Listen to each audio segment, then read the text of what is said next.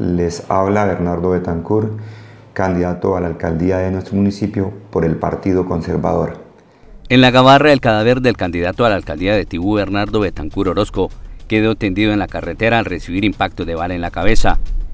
De inmediato se protagonizaron escenas de dolor en el lugar donde ocurrió el hecho.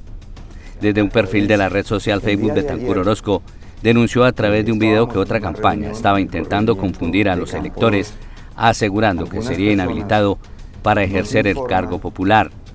Que ciertos líderes de determinada campaña se están acercando a las comunidades con una información la cual puede generar incertidumbre, la cual puede generar eh, alguna duda hacia la campaña nuestra. Yo no entiendo qué es lo que pasa si nosotros respetamos a los diferentes candidatos a este proyecto. La denuncia se publicó el 10 de septiembre en la que Betancourt, asesinado en la mañana del domingo, le pidió a la comunidad tibuyana que rechazara estos hechos contra su candidatura. Si nos ganan las elecciones, que nos ganen de manera limpia. Esta probablemente es una de las piezas que las autoridades indaguen para intentar empezar a esclarecer el crimen del aspirante conservador, hecho por el que las autoridades están ofreciendo una recompensa para dar con los responsables.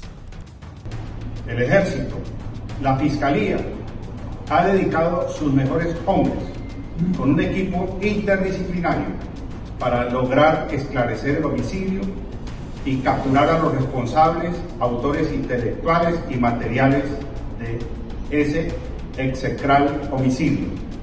Condenamos, como lo dije anteriormente, el homicidio del candidato del municipio de Timú. En el Consejo de Seguridad se estableció ofrecer hasta 30 millones de pesos a quien dé información efectiva por la captura, vuelvo y repito, de los autores determinantes y contribuyentes del homicidio.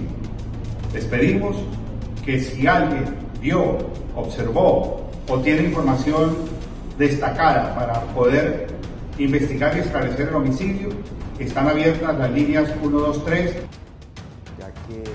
El candidato Betancourt, en momentos que se movilizaba en camioneta por la vía del corregimiento, fue abordado por un hombre en la carretera, quien le pidió que lo llevara hasta Puerto Madero, por lo que al parecer la víctima accedió.